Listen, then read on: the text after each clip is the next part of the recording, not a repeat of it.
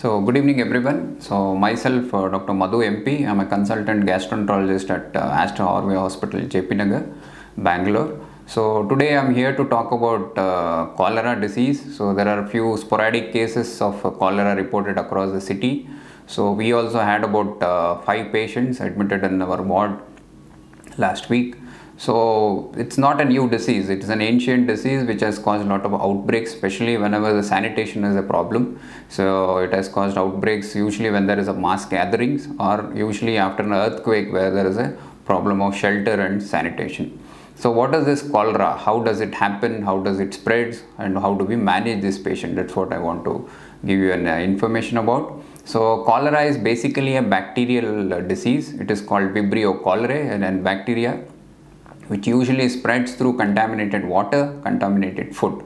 So it's a basically a bacterial infection. So how does somebody acquires this infection? This bacterial infection is acquired once you have taken a contaminated food or water. Once it enters the body, after how many hours the patient will develop symptoms. So it can ranges vary from 5 hours to 5 days.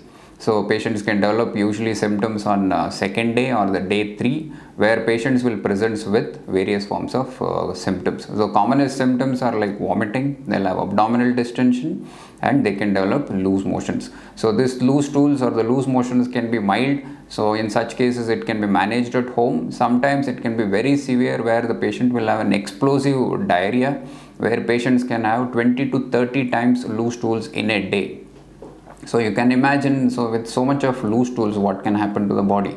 So some people can lose even up to 20 liters per day in stools. So basically so because of there is so much of loss of fluid patients will develop signs of dehydration. They can develop sunken eyes they can lose their skin turgor there will be extreme uh, thirst to the patients. So because there is so much of fluid loss they can develop low bp and can lead even into shock so with so much of fluid loss, some of these patients can land up in kidney injury also. We call it as acute kidney injury. In very severe cases, sometimes they may require even hemodialysis also. And with the loss of fluid, patients also loses uh, various electrolytes. The common ones is the potassium, which can lead to hypokalemia and the patients can present with various muscle cramps. So since there is a diarrhea thing, so how do we diagnose them? So diagnosis usually we take a good history. There is an explosive diarrhea. We classically call this at rice water diarrhea where the stools will not have any pigments. So that is a classical and you may have a contact with the patients of diarrhea or there can be an outbreak in that city. All this will be taken into consideration. And finally we do a stool examination. The stool will be tested under the microscopy. So where you can see a motile bacteria in the microscope it is called hanging drop preparation. So once we have diagnosed the disease, how do we manage them? As I already told you, the cholera can be mild. In such cases, it can be managed at home. So the most important thing is rehydration. So adequately, you will have to give them fluids. The most commonly used is oral rehydration solution, that is ORS powders.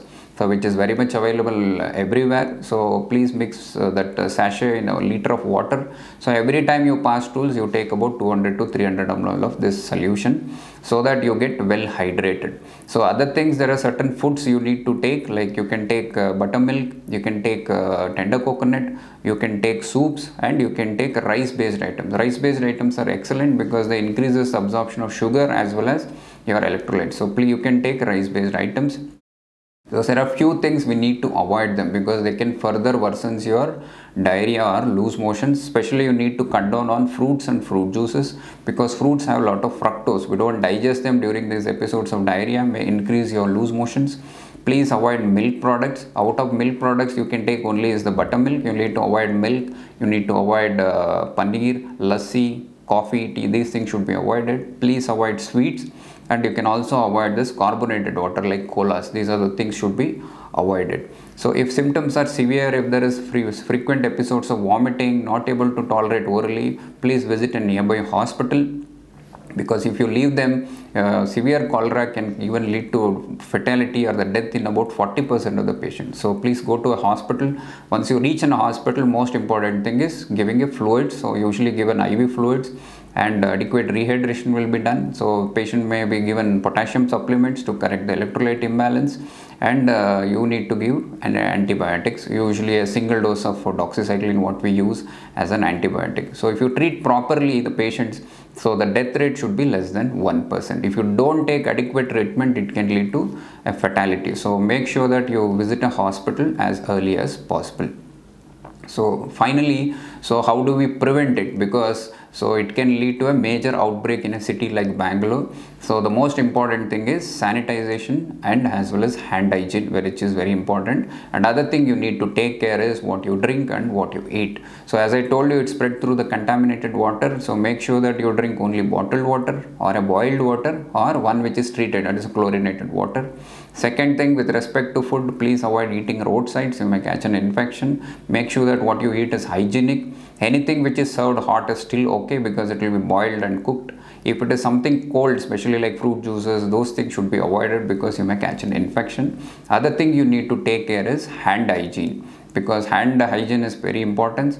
Please uh, wash your hands properly after use your restrooms. Please wash your hands properly before eating. And if you are an adult treating a kid or feeding a kid make sure that you wash your hands properly before feeding the child so even in children also cholera can affect. If your uh, baby is very small as a breastfeed child, you can continue with the breastfeeding. And if somebody is an older kid, you can continue with this oral ORS solution. And zinc, which is a multivitamin, has shown very beneficial in children, which can also be used to prevent. So to conclude, it is basically a uh, notifiable disease which can cause a major outbreak so you should be aware of the disease. There is a new cases across the city. So please maintain your hand hygiene. Make sure that uh, what you eat and what you drink should be you should be very careful. And thirdly, whenever you have a severe diarrhea, please go to a nearby hospital so that adequate hydration and further complications can be prevented.